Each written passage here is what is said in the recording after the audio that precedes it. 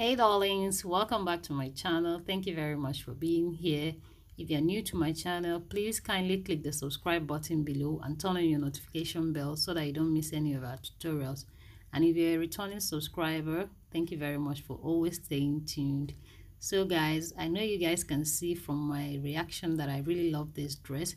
If you want to find out how to make this dress, make sure you watch to the end. Let's go over to start making it guys as you can see I've already cut out my off-shoulder bodice for my dress. I already have a tutorial detailed tutorial on how to cut out these off-shoulder bodice. As you can see on the on the screen I'll leave the link in the description box below so that you check it out later. So now to cut out the lower part of my dress the first thing I did was to fold my fabric and then from this point downwards is 10 inches. And from where the 10 inches stopped I measured out the full length of my skirt. And to fold your fabric you're going to divide your hip circumference into four add additional 17 inches to your measurement. So now the next thing I'm going to do right now is to mark out 4 inches measuring from the center front right here. You're going to measure out 4 inches starting from the center front of your dress and then after doing that you're going to connect it to each other. So guys if you're familiar with my channel or if you've watched my video on how to make a goddess dress as you can see on your screen right now you realize that we did a similar step while cutting out the lower part of that dress. But in this particular one I'm making right now is a little bit different. So from this point, the next thing we are going to do is to mark out or to trace out our basic long skirt. If you have your long skirt pattern, you can simply place it on the line, indication line right there and trace it out. If not, you can simply mark in your long skirt on this area. So as I'm doing right now, that's exactly what I'm doing and I have a simple tutorial on how to make this easy long skirt pattern. And I'll leave the link in the description box below. So guys even if your pattern has a dart to it it doesn't matter. It's still okay to be used. So just place your pattern if you have one and trace it out. So now the next thing I'm going to do is connect my long skirt pattern to each other all the way to the full length of my skirt and we continue the modification from there. So guys if you're enjoying this tutorial so far don't forget to give it a big thumbs up. And if you're yet to subscribe to my channel please click the subscribe button below. Turn on your notification bell so that you don't miss my coming up videos upcoming videos actually. So now the next thing is to mark in between the skirt area and just randomly trace up to the upper part of the skirt leaving about five inches for the side seam area. So now the next thing i'm going to do right now is to measure about six inches. This is what i did for the previous skirt. I measured six inches but here i decided to mark it at eight inches below the the hip line area like this and from there I'm going to make a random curve to create the cowl effect for our skirt. So now as you can see I'm creating it upwards to join this area. So now from the knee line I'm going to smoothen it up like this. And this is what it should look like after marking. Next I'm going to add my side seam allowance. And from there this is what it looks like in full. So guys after doing this your front piece is ready. Don't forget to add your hemming allowance also. So next I cut out the front piece of my skirt and this is what it looks like. And to cut out the back piece I'm going to fold in this 4 inches reserved I made for the bold pleat in front of my dress as it's not going to come out at the back side of my dress so now to cut out the back piece, you simply have to measure out about one and a half or two inches for the slip and zipper allowance right here as you can see before placing the front side of my skirt before cutting out. So after doing that the next thing we are going to do is to start sewing. So I started off with joining the front bodice of my dress from the princess seam areas and I'm going to join it from the bustier area with half an inch. From this point upwards make sure you join from the lower part to the upper part. Now for the back side of my bodice I'm going to sew the darts on both sides of my back bodice now for the front piece after joining the princess seam dart the next thing is to shape out the neckline and to do that as you can see after joining both pieces you have a reserve up here. And the next thing you're going to do is to trim by first of all marking out your neckline in full. And then from that indication line you're going to cut it out. You can always reshape your neckline to your taste. You can lower it as well if you desire a lower neckline. So after cutting this out our front bodice is ready. Now I'm going to set this aside. So guys I added a cape a cowl cape to my front bodice and if you want to add this to your own dress as well I have a detailed tutorial on how to make and manipulate this how to make the pattern for it and how to sew it onto your bodice like this.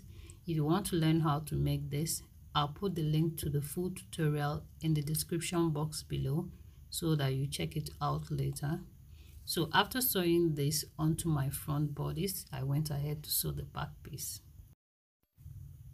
So right now for the back piece, after sewing the dart, I'm going to join it to each other, right side to right mm-hmm. side to each other, okay, like this.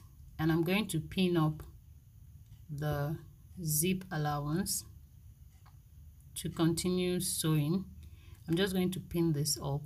And after doing that I'm going to join the front and the back bodice together. And to do that I'm going to open up this part like this. Next I'm going to place the front bodice onto the back bodice right side to right side to each other and then with the side seam allowance I marked out while cutting out my fabric I'm going to join it to each other by the side seam and set it aside and we're going to go over to sewing the lower part of our dress. Now to start sewing the lower part of my dress, I'm going to flip this over to the right side of my fabric like this and then from the waistline I'm going to measure down. I measured down about 13 inches down. And that is where my stitch will stop to create the bold pleat at the front side of my dress. So right now after sewing this up I'm going to set this aside. Now for the back side of the skirt I measured out 9 inches from the waistline down and that is where my zipper area will be and from this 9 inches right here I'm going to stitch all the way to 6 inches above the knee line. So you determine where you want your slit to mm-hmm. start and stop. So now what I'm going to do is gently stitch this up and I'm going to go over to the next level. So after making the stitches from this point to this point I opened it up wide and pinned up the zipper area. Now to finish off the slit area I'm going to open it up like this. You can choose to do an overlapping method for your slit but this is the method I used for this particular dress in this tutorial. So after opening this up i'm going to trace where my slits stopped. And from that point right here i'm going to be measuring up about half inch upwards and mark and from this area also i'm going to measure half inch measuring from the center back area all the way to where the full length of my skirt is. That is where the slit ends and that is how i am going to sew it up. So after stitching this the next thing i'm going to do right now is to open up the front piece like this place the back piece on it right side to right side to each other then starting from this upper waist area i'm going to start sewing from the seam allowance i reserved all the way to the side seam and to the full length of the lower part of my dress. And after sewing this i'm going to gather the waistline. This is how to gather the back piece. You measure out your zip allowance mark it. Then from that zip allowance area you mark out half inch also this is to enable the pleats not to enter into the zipper area. So your pleat is going to stop half inch before your zipper area. So you can pleat two inches away from each other like this or your desired taste. So after pleating the back piece like this next we are going to be pleating the front piece as well the front side of your skirt. Now to do that you're going to make sure that you pleat towards the center front okay? And this four inches for our bold pleat is still there. So you make sure that each and every pleat you do just as I showed you for the back side is towards the center front of your skirt piece. Now to lay this to rest we are going to trace the midpoint match it with the center front of our waistline and then we're going to hold it down with a stitch right here so guys as you can see so far so good. The dress proves quite easy to make easier than it looks and it's not really complicated as one may think on mere sight of it. So the next thing i'm going to do is to join my bodice to the skirt part of my dress like this. After joining it together the next thing I'm going to do is to fix my zipper as you can see I've done that and I've sewn my facing for one side of the back piece and I'm going to show you how to sew the other piece. So now as you can see you open up your zipper area like this.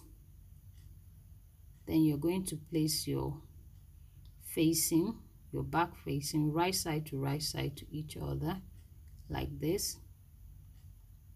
And you're going to sew along the neckline area by half inch and then into the wrong side of the zipper by one inch or so.